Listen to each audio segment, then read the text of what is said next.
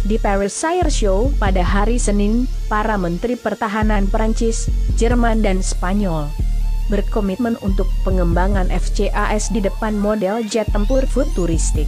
FCAS akan menjadi yang terbaru dalam jajaran pesawat yang diproduksi bersama oleh kekuatan Eropa. Pesawat lain yang dikembangkan dan digunakan oleh banyak negara Eropa termasuk Panavia, Tornado, Eurofighter Typhoon dan sepecat Jaguar. Pesawat akan mewakili lompatan kualitatif.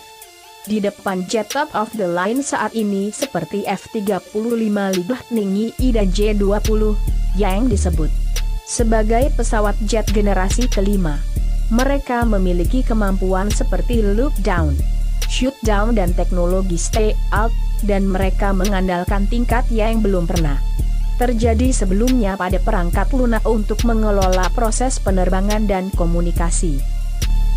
Sementara generasi kelima itu sendiri merupakan istilah yang tidak jelas yang diciptakan oleh pembuat F-22 dan F-35 Lockheed Martin sebagian sebagai taktik pemasaran generasi keenam bahkan kurang terdefinisi dengan baik. Sebuah definisi yang dikemukakan oleh Angkatan Udara AS pada tahun 2010 termasuk peningkatan kemampuan di berbagai bidang seperti jangkauan, ketekunan, kemampuan bertahan, net centricity, kesadaran situasional, integrasi sistem manusia, dan efek senjata, dan mencatat itu harus dapat beroperasi di lingkungan anti-akses penolakan area yang akan ada dalam jangka waktu 2030 sampai 2050. Titik. Inisiatif FCAS pertama kali diumumkan pada bulan Juli 2017, meskipun pembicaraan dimulai.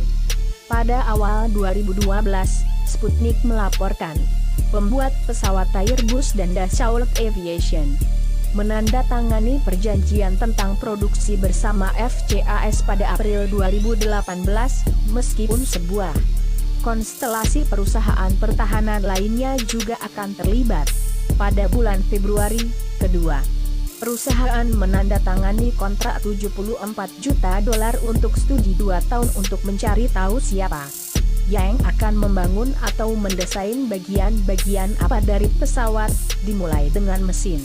Pesawat Sakan Perancis dan MTU Astro Engine Jerman, yang setuju untuk merancang sistem propulsi jet, menurut Breaking Defense. Jangan lupa subscribe, like, dan share. Terima kasih.